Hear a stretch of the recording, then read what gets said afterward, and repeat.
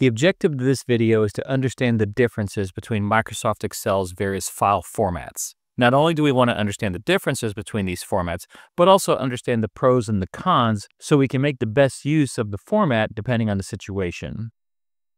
Microsoft Excel supports a variety of file formats to suit different use cases, ranging from simple spreadsheet storage to advanced data interchange and backward compatibility. Understanding the differences between these file types is essential for choosing the right format for your needs, especially in environments that require data sharing, automation, or archival. These are the file extensions for the various file format. And although some of them might not look like Excel file formats like CSV or PDF, those file formats are integral to Excel. So let's look at the pros and cons of each of these. XLSX. This is the default file format in Excel since 2007, and this is based on the Open Office XML standard. The pros of using XLSX files. They're highly compatible with modern Excel versions, they have reduced file size, they're safer to use because of the lack of macro support, and they support the newer charts and formatting features. The cons, on the other hand, they're not supported by Excel 2003 or earlier without a compatibility pack. And what makes this file safer by not having macros is also a con because they can't contain macros. They're best for everyday use when macros are not required.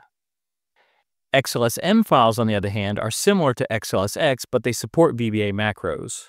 The pros, they can store and execute macros, and they have all the advantages of XLSX files. The cons, they are slightly larger in file size, and there are potential security risks from untrusted macros. They're best for workbooks that require automation using VBA. The XLS file format, which is a legacy format used between Excel 97 and 2003, data stored in this format is stored in a binary format, as opposed to a human-readable format. The pros are it's compatible with older versions of Excel and oftentimes smaller for certain data sets. The cons, on the other hand, they lack many of the modern features, they're more prone to corruption, and they're not compressed, so they occupy more space. These are best used for compatibility with older versions of Excel. Now, if you're thinking, why would anybody use the older file format as opposed to the newer file format? Well, I've seen many companies who are still using older files even in the newer versions of Excel, but they don't realize they're still using the older file format and they don't understand what they're giving up for that. So let's look at some of the costs of saving a newer version of Excel in the older format. Now, this is by no means a comprehensive list of differences, but it's some of the major structural differences. The limits of Excel, old versus new. In old Excel, we maxed out at 65,000 rows. In newer Excel, just over a million. In old Excel, we had 256 columns, A through IV. In the new version of Excel, we have 16,384 columns, A through XFD. In old Excel, we were limited to 56 colors in the color palette. New Excel has access to 4.3 billion colors. When it comes to conditional formatting, the older versions of Excel only supported three rules per cell, and there were limited formatting options. From 2007 forward, you can have an unlimited number of rules per cell. Plus, we have the inclusion of color scales, icon sets, and data bars. When it comes to formulas and functions, there were much fewer built-in functions in 2003 and earlier than 2007 forward. There are dozens of new functions, especially when you take into account the new dynamic array functions that were introduced around 2020. For tables, 2003 and earlier only supported basic lists, but in 2007 forward, we have fully featured Excel tables that use structured references. These also have managed color schemes and a plethora of other features that everybody should take advantage of.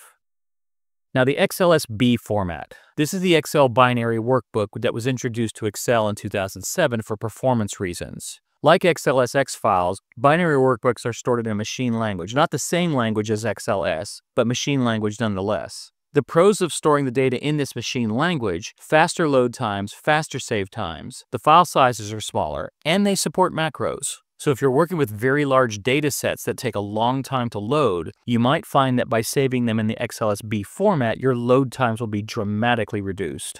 Now, if you're thinking to yourself, well, why wouldn't I just use XLSB if it's going to be faster and it supports macros? Well, there are some cons, and the cons being they're less readable by non-Microsoft tools. So if you're exchanging information freely between Excel and other applications, those applications might not support XLSB files. There could also be security concerns because you can't tell just by the extension of XLSB whether the file has a macro or not, and someone could try to sneak a malicious macro in the system. These are best for large datasets requiring performance optimization.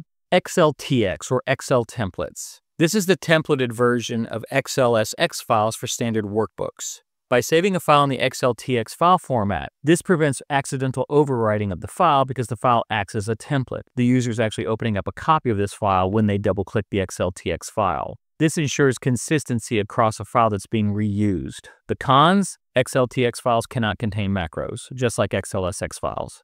These are best for reusable workbook templates. Now, if you need a template that can also store macros, that's when you'll use the XLTM file format, the Excel macro enabled template. So this is just the templated version of an XLSM file. The pros, they enable standardized macro-powered spreadsheets, but the cons, they inherit all the macro security concerns of an XLSM file. These are best used for reusable automated templates. The XML format. XML stands for Extensible Markup Language. These are the older XML-based human-readable formats. The pros of this, they are interoperable, and they're good for structured data, but the cons are it's an obsolete format that lacks many of the modern features. These XML files will likely result in larger file sizes. They're best used for legacy XML output and data integration. CSV files, comma-separated value files. Now, these are not technically an Excel file format. They're plain text formats with values separated by commas. The pros of CSV, they're incredibly lightweight, they're universally supported, and they're ideal for data exchange. The cons, on the other hand,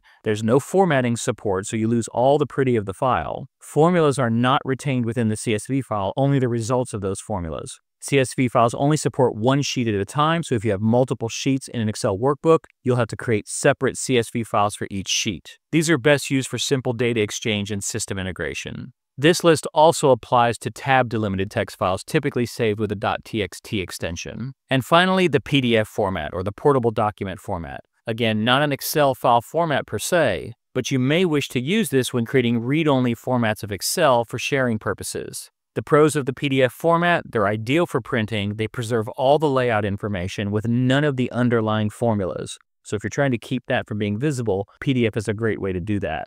The cons, on the other hand, they are not editable in Excel, and you lose all interactivity and formulas. These are best for sharing final print-ready reports. To wrap things up, Here's a summary table of everything that I've covered. Feel free to download this table along with a PDF of all the details of everything that I've covered in this video. Now that you understand the nuances of all these file formats, you'll be better armed to make the best choice depending on your situation. Thank you for watching, and remember at BCTI, the learning never stops.